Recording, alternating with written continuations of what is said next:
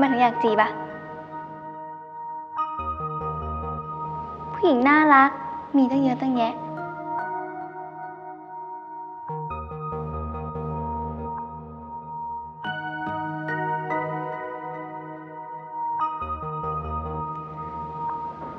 ทำไมจะจีบ เราต้องถามอะแฟนไม่ว่าเหรอ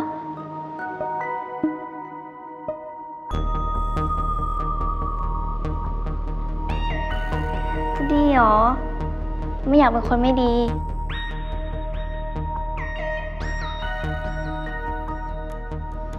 ไว้ไม่มีแฟน